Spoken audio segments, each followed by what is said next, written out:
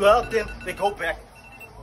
So how do we know? What are the signs that we can see that say this person is willing to grow? How, what are those signs? What do I need to look for? That's my question. Not me forcing you, no. Because people have been giving. But they cannot see that they, these are the signs that this person has been displaying over and over again.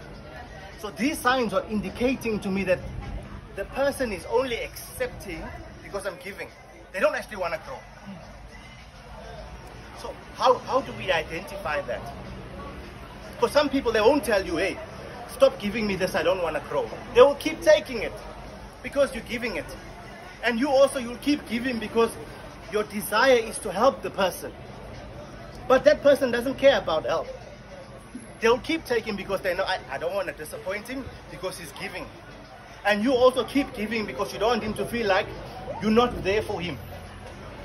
But he is displaying things that saying, hey, I don't want to grow. I don't want to change. I'm happy where I am. How do we identify that?